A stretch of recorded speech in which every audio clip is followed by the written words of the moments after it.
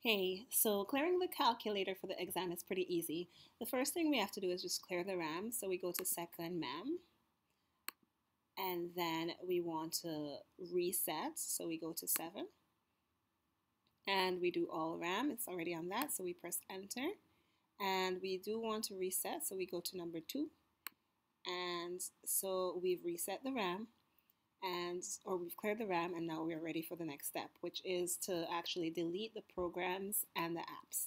So in order to delete programs and apps, you go back to second memory, so second memory, and you're going to go to this one, number two, mem management delete, and that's right here.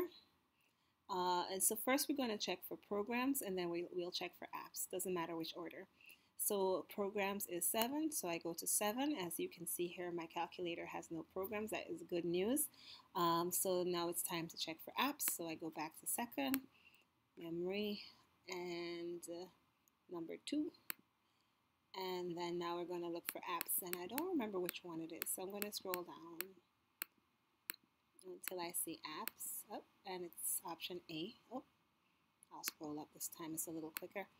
All right, so then once we're there, all right, so what you want to do is you want to look at the list that I gave you, and these things are allowed. You want to make sure that you keep all of these, especially I think these, um, because I think HL Math needs them. So do not delete any of these things.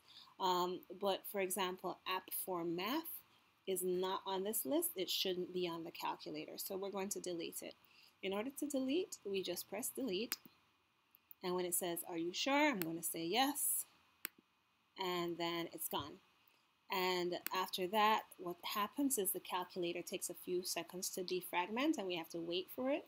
It's not done because we do want to put some uh, settings back on the students' calculators.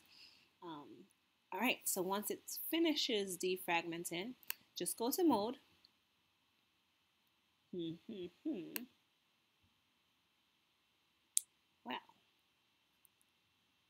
There we go.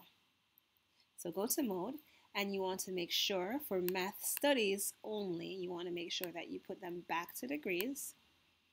And then you also want to make sure for uh, math studies and math SL that their stat diagnostic is on.